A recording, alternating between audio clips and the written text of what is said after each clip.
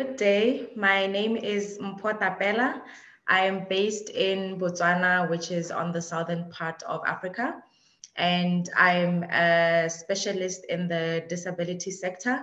I have worked a lot with people with disabilities, uh, different kinds of disabilities, particularly uh, the deaf.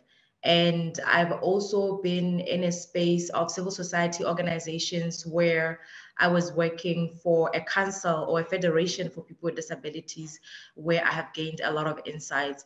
Um, but I haven't really had any lived experience of disability. So my insights are purely from a professional um, environment and the, engagement, the engagements that I've had um, both nationally and internationally through various engagements.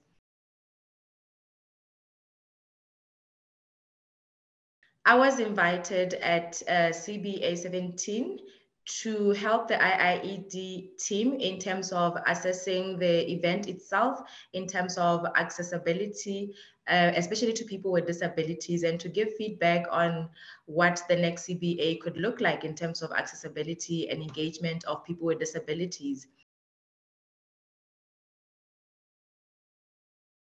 So in terms of my approach of the whole event, I looked at uh, it in terms of inclusion, accessibility, and accountability. In terms of inclusion, I was generally looking at how inclusive the event is holistically and how inclusive I also considered how inclusive IIED is as an organization. So I did some uh, smaller interviews with the staff of IIED to find out in terms of inclusion of accessibility in policies and programs and structures.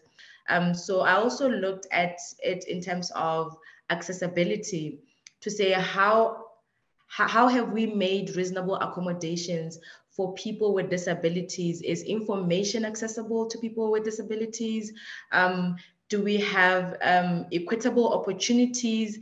And in, in terms of access to physical spaces. So I was looking at accessibility holistically. And then um, for accountability, um, it was a matter of is IIED accountable? And this one, it speaks to different levels, but in terms of CBA itself, I think that it was accountable in the sense that, you know, they had people that could have been assisting people with disabilities. It's just that they were not in attendance.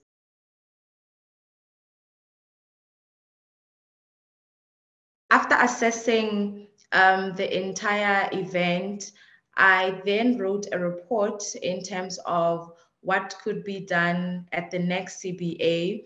And I made um, quite a few recommendations. You know, some of them include partnering with an organization or federation for people with disabilities, because I feel that when you do that, they will better advocate for the issues that you're trying to address. They will better give you access to people with disabilities in different localities. So a partnership like that would be mutually beneficial in the sense that um, IIED would also be giving the organization a platform to be able to participate and give people a chance to participate who have disabilities.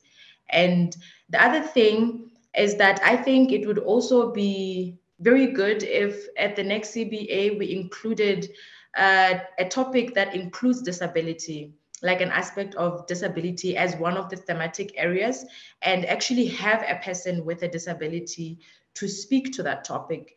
Because a lot of times when we make decisions or when we plan and we, we, we make the reasonable accommodations without the people with disabilities themselves, we tend to overlook some other things. The other recommendation was to do more in terms of making information accessible to people with disabilities, like maybe if we have sign language videos instead of just text on the website or videos that do not have uh, sign language interpretation, or if we also focus on um, making reports that are online to have uh, screen reader options such that blind people can have access to them.